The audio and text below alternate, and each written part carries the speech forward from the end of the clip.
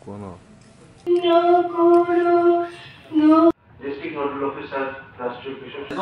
বলব আপনারাও ওদের কোম্পানি করতে গিয়ে কোম্পানি সামনের দিকে অনেক জায়গাতে আমাদের এই কোটকা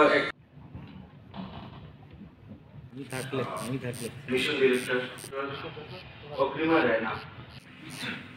Good morning everyone মা বাবা তো কিছু খেয়াল করে রাখতো না। আরও অনেক ক্যান্সার হতেই পারে। ত্রিপুরা তো নেশামুক্ত ত্রিপুরা বলছে সবাই, কিন্তু হেল্প চাইছি সেখানে শুধু আপনারা একা যাবেন কার্ডিওভাস্কুলার স্ট্রোক এনপিসিডিসি একটা সময় ছিল ই সিগারেট সিগারেট খাচ্ছি, আমার তারপরে কি হচ্ছে আঠারো বছর থেকে গভর্নমেন্ট অফ ইন্ডিয়া রিসার্চ করে দেখেছে, না।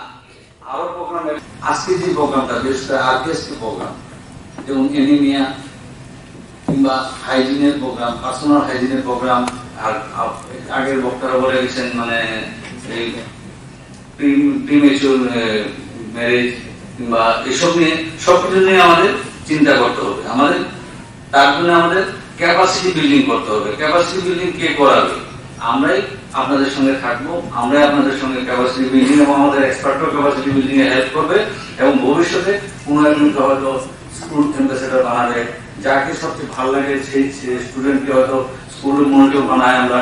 এরকমই স্কুল একজন অ্যাম্বাসেডার থাকবেন, যার থেকে আমরা সবকিছু খবরাখবর পাবো